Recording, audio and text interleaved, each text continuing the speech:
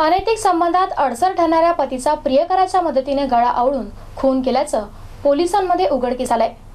या प्रकरणाचा गुन्हे शाखेच्या वतीनं उलगडा केला गेलाय. या प्रकरणात खून झालेल्या व्यक्तीचं नाव देवमन विठ्ठल सोनवणे असं आहे.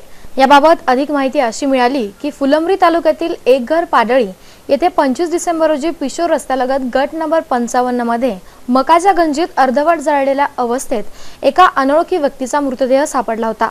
प्रथमदर्शी कुणीतरी खून करून प्रेताची विल्हेवाट लावण्याचा व पुरावा नष्ट करण्याच्या उद्देशानं हे कृत्य केल्यानं पोलिसांनी अज्ञात आरोपींविरुद्ध खुनाचा गुन्हा दाखल केला होता.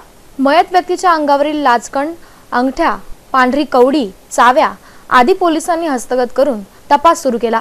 पोलिसांनी तपास चक्रे फिरवली व तीन जानेवारी रोजी कन्नड तालुक्यातील निंभोरा येथील देवमान विठ्ठल सोनवणे हे पंचवीस डिसेंबरपासून बेपत्ता असल्याबाबत पिशोर पोलीस ठाण्यास तक्रार प्राप्त झाली होती.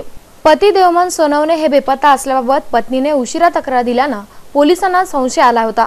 त्याचवेळी पिशोर पोलिसांना गोपनीय माहिती मिळाली होती की देवमान सोनवणे यांच्या पत्नीचे पंडित कायंदे या नामक व्यक्तीशी अनैतिक संबंध होते. या संबंधात पती अडसर ठरत असल्यानं या दोघांनी आधीपासून मारण्याचा कट रचला होता. पिशोर पोलीस ठाण्यात पंडित कायंदे गणेश शिंदे तसेच मयताची पत्नी मीराबाई सोनवणे यांच्या विरुद्ध खुनाचा गुन्हा दाखल करण्यात आला. या तिघांनी ठरल्याप्रमाणे चोवीस डिसेंबर रोजी रात्री देवमन हे घरासमोर झोपलेले असताना रात्री बारा वाजेच्या सुमारास पंडित कायंदे याने गणेश शिंदे यांच्या मदतीनं दोरीच्या सहाय्याने गळा आवळून खून केला. देवमन यांचा मृत्यू झाल्याची खात्री होताच मृतदेह पोत्यात टाकून दुचाकीवरून एक घर पाडळी शिवारात नेऊन पहाटे दोन वाजेच्या सुमारास मक्याच्या गंजीत टाकून पेटवून देऊन पोबारा केला. पिशोर पोलिसांनी पंडित कायंदे याला तर गणेश शिंदे यालाही स्थानिक गुन्हे शाखेच्या पथकाने शिताफीनं ताब्यात घेतलंय.